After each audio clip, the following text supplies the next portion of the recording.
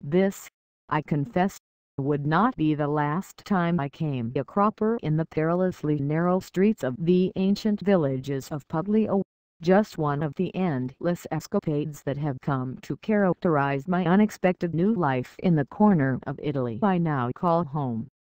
So when, a few days after, I stumbled across a news story about a village in the north of Puglia whose shrinking population had led the local council to offer outsiders €1,000 euros 850 pounds to move there.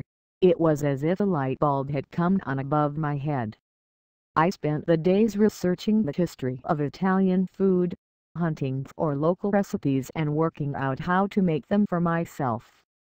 I love sitting in my little local corner cafe, dropping on the local workers as they sip their morning espresso, or watching the world go by in the evening, nursing a gin and tonic with lightly crushed juniper berries, in my favorite bar.